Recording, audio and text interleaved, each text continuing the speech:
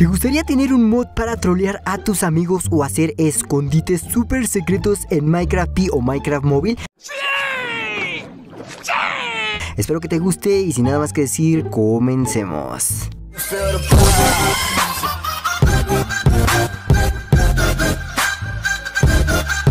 Y bueno, primero que nada, como ven aquí tenemos una mesa de crafteo. ¡No me digas!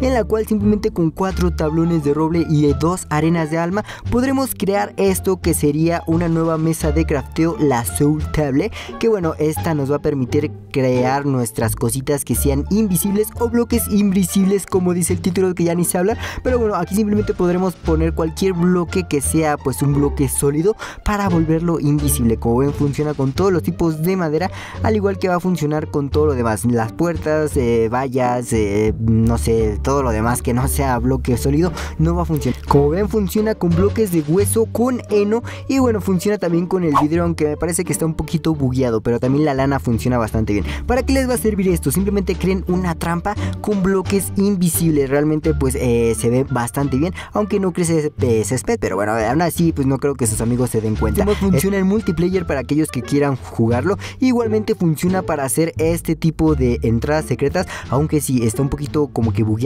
pero yo no lo veo bugueado, chicos. Yo veo oportunidades. Ahí vemos un X-Ray bastante, bastante posible. Así que vamos a hacer aquí un tipo X-Ray. ¿Cómo lo podrían utilizar para ver cuevas, para ver a sus amigos, para ver lo que hay más adelante? O sea, se ve muy, muy bien. No vean buff, vean oportunidades, chicos.